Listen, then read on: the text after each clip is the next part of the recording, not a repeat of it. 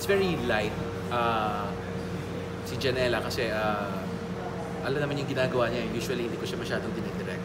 Because usually, alam na niya yung gusto ko. Isang briefing lang, tapos alam na. Si Jameson naman, I really had to guide him kasi may, medyo yung POV ng story nasa kanya.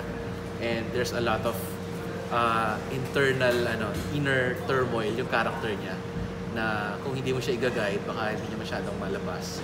Pero all in all, it, it was very, ano, very light, very light yung shoot namin.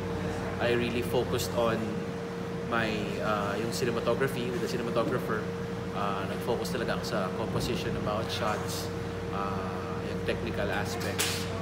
Para gusto kasi magmukha siyang gritty rom-com. Parang fusion ng grit tsaka yung รอมกลมนามาคุณเลย